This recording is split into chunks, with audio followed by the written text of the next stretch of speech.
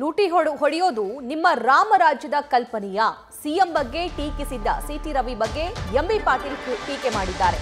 ಬಂಧನವಾದ ಕಾರ್ಯಕರ್ತನ ಹಿನ್ನೆಲೆ ಈಗ ಬಹಿರಂಗವಾಗಿದೆ. ಶ್ರೀಕಾಂತ್ ಪೂಜಾರಿಯ ಮೇಲೆ ಹದಿನಾರರಿಂದ ಹದಿನೆಂಟು ಪ್ರಕರಣಗಳಿದ್ದಾವೆ. ಅಂಥವರ ಪರವಾಗಿ ಇವರು ಹೋರಾಟ ಮಾಡ್ತಾ ಇದ್ದಾರೆ. ಇದೊಂದು ನಾಚಿಕೆಗೇಡಿನ ಪ್ರಸಂಗ ಅಂತ ಎಂಬಿ ಪಾಟೀಲ್ ವ್ಯಂಗ್ಯವಾಡಿದ್ದಾರೆ.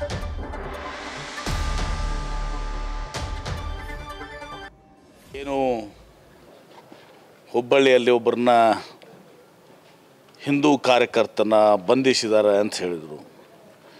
ಈಗ ಆ ಕಾರ್ಯಕರ್ತ ಯಾರು? ಅವನ ಹಿನ್ನೆಲೆ ಏನು?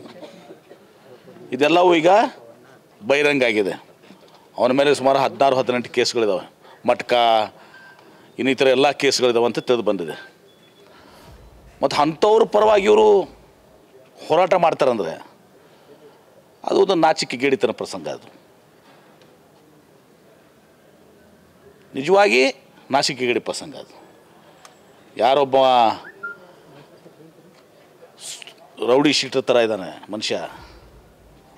ರೌಡಿ ಶೀಟರ್ ಇರ್ಲಿಕ್ಕಿಲ್ಲ ಬಟ್ ರೌಡಿ ಶೀಟರ್ ಥರ ಹದಿನೇಳು ಹದಿನೆಂಟು ಕೇಸ್ ಆಗಿದ್ದಾವೆ ರೌಡಿ ಶೀಟರ್ ಇದ್ದಾನೆ ಮತ್ತು ಅಂಥವ್ರನ್ನ ಬಗ್ಗೆ ಇವರು ಇವ್ರು ಇದೇ ಇತಿಹಾಸ ಬದಲ ಮಾಡೋಂಥ ಮಾಡೋಂಥದ್ದು ಹೋಗೋದು. ಯಾರನ್ನ ಒಯ್ದು? ಇವರು ದೊಡ್ಡವ್ರನ್ನ ಮಾಡ್ತಾರೆ. ನಮ್ಮ ಹಿಂದೆ ಒಂದು ಸಲ ಯಡಿಯೂರಪ್ಪನವರು, ಇನ್ನಿತರರು, ಇಲ್ಲಿ ನಮ್ಮ ರಾಜ್ಯದಲ್ಲಿರುವಂಥ ಸ್ವಾತಂತ್ರ್ಯ ಹೋರಾಟಗಾರನ ಬಿಟ್ಟಿದ್ದಾರೆ. ಕಿತ್ತೂರು ರಾಣಿ ಚೆನ್ನಮ್ಮ ಇದ್ದಾರೆ ಒಣಕೆ ಒಬ್ಬವ್ ಇದ್ದಾರೆ, ಸಂಗೊಳ್ಳಿ ರಾಯಣ್ಣ ಅವರ ಮೆರವಣಿಗೆ ಮಾಡುವುದಿಲ್ಲ. ಅವ್ರ ಬಗ್ಗೆ ನಮ್ಮವರು ಇಂಥ ಹೋರಾಟ ಮಾಡಿದಾರೆ ಅಂತ ಬೇರೆ ಬೇರೆ ಯಾರನ್ನೋ ಬೇರೆ ರಾಜ್ಯದವ್ರಂತ ಬಂದು ಅದು ಕಾಂಟ್ರವರ್ಷಿಯಲ್ ಇದ್ದಂಥ ಜನರನ್ನ ತುಂಬಿಸಿ ಇದು ಮಾಡುವಂಥದ್ದು ಇವರು ಚಾಳೆ ಇದು. ಮತ್ತು ಇದೇನು ತೋರಿಸ್ತದೆ ಈಗ? ಮಾಡಲಿ ಹೋರಾಟ. ನಾವು ಜನರಿಗೆ ತಿಳಿಸ್ತೀವಿ.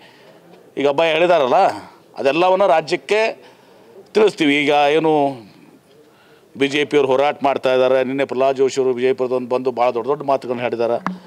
ಏನು, ಇವರ ಹಿನ್ನೆಲೆ ಹಿಂಗಿದೆ.